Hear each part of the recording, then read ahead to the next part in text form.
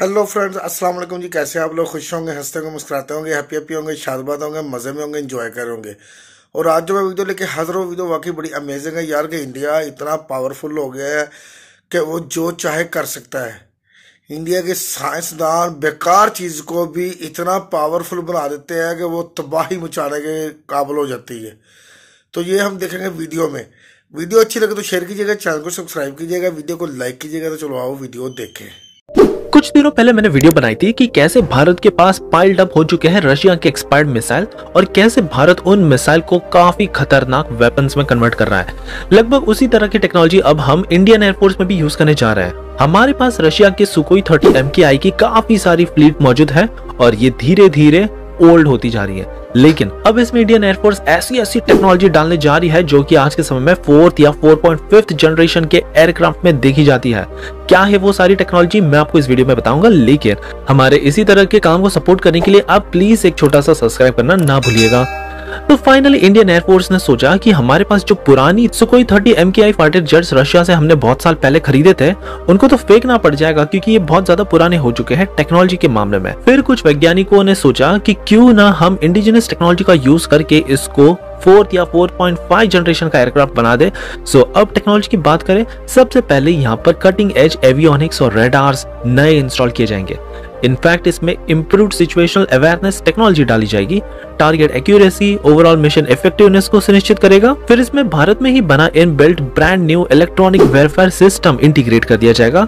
Advance electronic counter measure against enemy threat system भी डाला जाएगा। कम्युनिकेशन डिस्ट्रप्शन केपेबिलिटीज इसमें डाल दी जाएगी ताकि दुश्मन जहाज़ कम्युनिकेट ही ना कर पाए एक दूसरे से। फर्दर इसकी एयर टू एयर और air to ground combat power को भी इंक्रीज कर दिया जाएगा। टी सिस्टम पहली बार डाला जा रहा है, जो कि है indigenously develop infrared search and track system ये सिस्टम हमारे इस पुराने फाइटर जेट को ऑल वेदर कंडीशन के लिए केपेबल बना देगा और फोर 4.5 जनरेशन के एयरक्राफ्ट की टक्कर का पूरी तरह से ये तैयार हो जाएगा। इस पूरे प्रोग्राम में इंडिजिनस टेक्नोलॉजी को काफ़ी ज़्यादा फोकस दिया जा रहा है। इसीलिए तो 2000 से ज़्यादा एमएसएमई इस पूरे प्रोजेक्ट में इंक्लूड होंगे। और वैज्ञानिकों ने देखा की इससे हमें दो फ़ायदा है। सबसे पहले तो हमें नए जहाज़ खरीदने नहीं पड़ेंगे, काफ़ी एक्सपेंसिव बिलियंस ऑफ़ डॉलर हमारे बच जाएँगे। और दूसरा सबसे बड़ा, हमारी यहाँ पर एक्सटर्नल सोर्सेज से डिपेंडेंसी रिड्यूस हो रही है और भारत खुद ही इतना केपेबल बन पा रहा है कि हम ऐसी ऐसी नई टेक्नोलॉजीज़ हमारे एयरक्राफ्ट में इंस्टॉल कर पा रहे हैं। वरना जो आज के समय बाकी के देश है, ये या तो अपने जहाज़ को काफ़ी ज़्यादा सस्ती कीमतों में दूसरे देशों में बेच देते हैं खास करके अफ्रीका के देशों में, या फिर ये चले जाते हैं सीधा स्क्रैप में। सो हमारे वैज्ञानिक काफ़ी अच्छे से जानते हैं कि कोयले को कैसे सोने में बदला जा सकता है। और हमारे वैज्ञानिकों के ये नए नए इनोवेशन के लिए प्लीज़ एक लाइक तो बनता ही और साथ ही में आप कमेंट्स में जय हिंद लिखना भी ना भूलिएगा। लो जी, वीडियो देखिए, वीडियो वाकई बड़ी अमेजिंग है यार। कमाल हो गया यार, यकीन माने यकीन नहीं हो रहा है इस तरह की चीज़ें कि दूसरे ममालक में, दूसरे जितने भी ममालक है ना, वो ज़्यादातर तो इस जो चीज़ें बेकार होती हैं, उनको बेकार ही पड़ा रहने देते हैं। मगर इंडियन साइंसदान जो है ना, वो अपने मुल्क का सोचते हैं, अपने मुल्क के दिफा का सोचते हैं और अपने मुल्क के जो पैसे हैं, उसके बारे में सोचते हैं कि वो कैसे बचाए जा सकते हैं। वो देखिए, रशिया से जो आपने ये जो प्लेन वगैरह या ये आपने जो मिसाइल ली थी, काफ़ी देर पहले जो रशिया के लिए बेकार हो गई थी वो।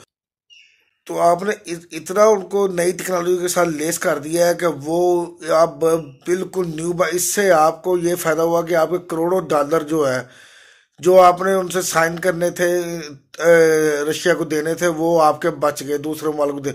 और वो इतने ख़तरनाक मज़ाइल हो गए हैं या इतने ख़तरनाक वो आपने जट तैयारे बना दिए हैं कि वो दुश्मन को तबाह बर्बाद करने में बहुत अहमियत के हमल हो सकते हैं।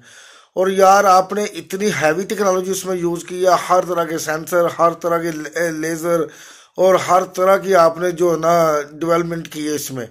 तो ये आपके लिए बड़ी कामयाबी है और रूस भी सर पकड़ के बैठ गया कि यार मेरा जो इतना अरबों का फ़ायदा होना था वो अरब, अरबों का नुकसान हो गया है।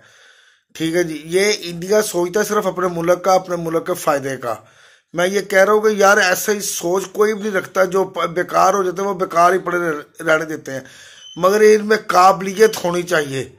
साइंसदानों में काबिलियत होनी चाहिए कि वो हर पुरानी चीज़ को भी नई कर सकते और पहले से भी ज़्यादा पावरफुल और टेक्नोलॉजी से लेस और ये सिर्फ़ करके दिखाया है इंडिया ने, जिससे अमेरिका, चाइना, रशिया वगैरह की नींदें उड़ गई हैं कि यार ये कैसे हो गया और ये कैसे कर दिया इंडिया ने। ये सिर्फ़ इंडिया ही कर सकता है क्योंकि इंडिया टेक्नोलॉजी के मामले में दुनिया से आगे निकल गया है। इंडिया का मुकाबला नहीं है। इंडिया जो चाहे वो कर सकता है। इंडिया नई चीज़ को बेकार बना सकता है और बेकार चीज़ को इंडिया इतना पावरफुल बना सकता है कि दुनिया देखती रह जाती है। जैसे ये इन्होंने करके दिखाया है। और ये आपके डिफेंस में इतना फ़ायदा हुआ है ना, यकीन माने। एक तो अरबों डॉलर बचा है, वो अरबों डॉलर आप अपने मुल्क में लगाओगे ठीक है जी, जो अपनी कोई इंडस्ट्री वगैरह लगाओगे, वो उसमें फ़ायदा होगा आपको। और हो सकता है जितने का ये आपने मोबाइल वगैरह लेने थे रशिया से, उतने पैसों के आप अपनी टेक्नोलॉजी में इंडस्ट्री लगा लें, जिससे रोज़गार भी मिलेगा और टेक्नोलॉजी में फ़ायदा भी होगा आपको डिफेंस में भी बड़ा फ़ायदा होगा। ये सिर्फ़ वाकई यार, इस तरह की सोच इंडिया की है। यकीन माने, इंडिया ही सोचता है कि अपने मुल्क को आगे कैसे लेके जाना है, अपने मुल्क का पैसा कैसे बचाना है। और ये करके दिखाया इंडियन साइंसदानों ने। यार कमाल हो गया यकीन माने इम्पॉसिबल कि जो चीज़ इम्पॉसिबल थी वरना ये, ये तो हर घर की बात है कि जो चीज़ पुरानी हो जाती है उसको पुरानी रहने देते हैं बल्कि उसको कबाड़ में सेल कर देते हैं। मगर आपने यार वो इतनी पुरानी चीज़ों को आपने इतना जदीद टेक्नोलॉजी के साथ लेस कर दिया है कि वो वो अब ना कि दुनिया की आँखें खुल गई हैं यार। ठीक है, अब दुनिया देख रही है, रशिया भी सर पकड़ के बैठ गया कि ये कैसे हो गया। मगर ये कर सकते हैं, काबिलियत है। इंडिया में, इंडियन लोगों में, इंडियन साइंसदानों में। वो जिस चीज़ को ठान लेते हैं ना करने का, वो करके दिखाते हैं। ठीक है, इसीलिए पूरी दुनिया में नाम है इंडिया का। इसलिए पूरी दुनिया इंडिया से मिलना चाहती है, आना चाहती है ट्रेड करना जानती है और इम्पोर्ट एक्सपोर्ट करना चाहती है इंडिया से। इसलिए रशिया कह रहा है कि सबसे ज़्यादा गहरा दोस्त मेरा इंडिया है। अमेरिका कह रहा है कि मेरे तल्लक इंडिया से बेहतर है। वो सऊदी अरेबिया कह रहा है, मेरे इंडिया के साथ अच्छे तल्लक है। हर कोई इंडिया के साथ तल्लक कर क्यों? इंडिया काम करना जानते हैं। इंडिया वो करके दिखाते हैं जो इम्पॉसिबल होता है। क्या बात है यार, मज़ा आया वीडियो देख के। बहुत मज़ा आया वीडियो देख के। चाइना वगैरह के तो चाइना, रशिया वगैरह के तो वैसे ही लाले पड़ गए हैं। यकीन माने इम्पॉसिबल यार। तो बाकी आपको वीडियो कैसी लगी, इसके बारे में ज़रूर बताइएगा। वीडियो अच्छी लगे तो शेयर कीजिएगा, चैनल को सब्सक्राइब कीजिएगा, वीडियो को लाइक कीजिएगा। तो मिलते हैं अगली वीडियो में। अपना ख्याल रखेगा अल्लाह हाफिज़।